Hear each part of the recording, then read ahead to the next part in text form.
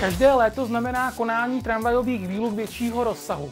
I když jich letos není tolik jako v minulých letech, jsou o to zřetelnější. Stále se také pracuje na některých projektech budoucnosti. Dešní Express tedy bude hlavně o těchto dvou tématech. Vítejte při jeho sledování.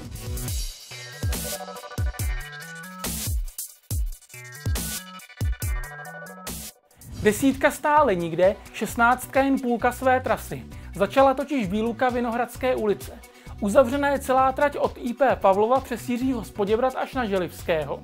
Pětka a patnáctka jsou ukončeny na Floře, odkud pokračují dále jako linka 16 na Kotlářku a sídliště Řepy.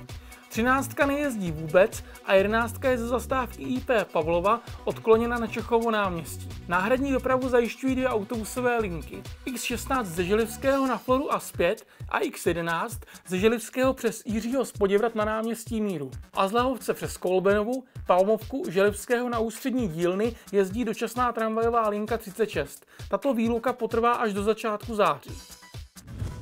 Další výluka probíhá v autobusovém terminálu Háje. Kvůli opravě autobusových zastávek zastavují všechny linky na zastávkách mimo terminál. U některých linek zde začínajících je zrušena první nástupní zastávka a nastupuje se tam pouze pod lávkou v Opatovské ulici. Linka 165 je ve směru od Zvraslavy zkrácena do zastávky Modrá škola a naopak linky 197 a 203 jsou prodlouženy do zastávky Jižní město. Předpoklad trvání této výluky je do konce srpna.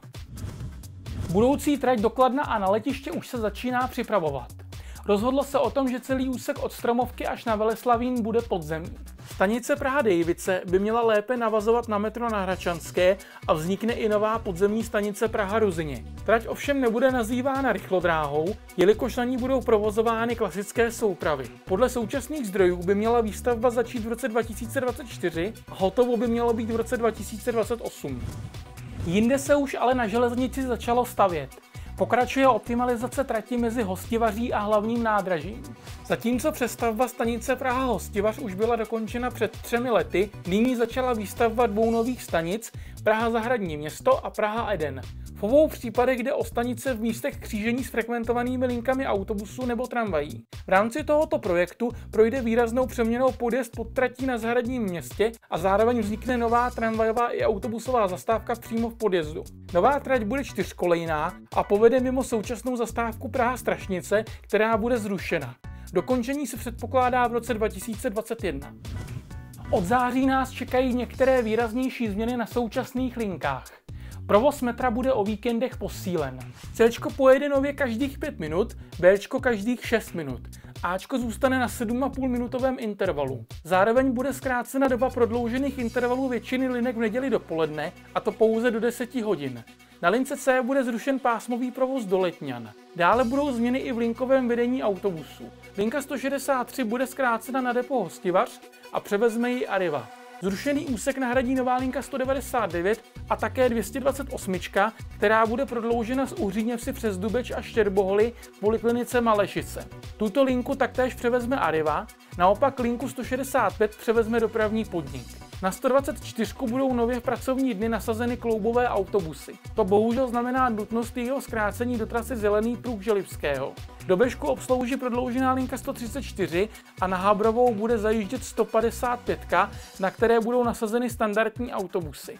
Na trase mezi Želivského a Habrovou ale pravděpodobně zaniknou zastávky mezi Hřbitovy a Červený dvůr.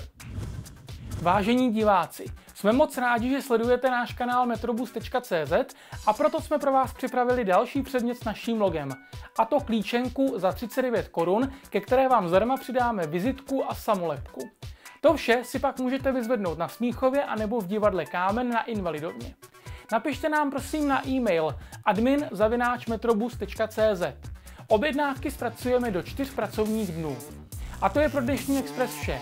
Já vám děkuji, že ho sledujete a nezapomeňte nám do komentářů pod video napsat svoje hodnocení, dílet, odebírat a lajkovat náš kanál. A u dalšího Expressu příští měsíc. Ahoj!